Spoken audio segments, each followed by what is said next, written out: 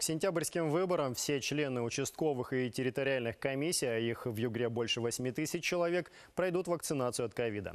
На данный момент это сделали 41% списочного состава комиссий. Такие данные привел председатель избиркома Югры Денис Корнеев на заседании Координационного совета по подготовке к выборам.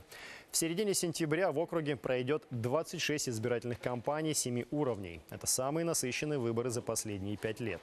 На них будут применять технологию изготовления итоговых протоколов участковых избирательных комиссий с использованием QR-кода и комплекса обработки избирательных бюллетеней КАИБ-2010.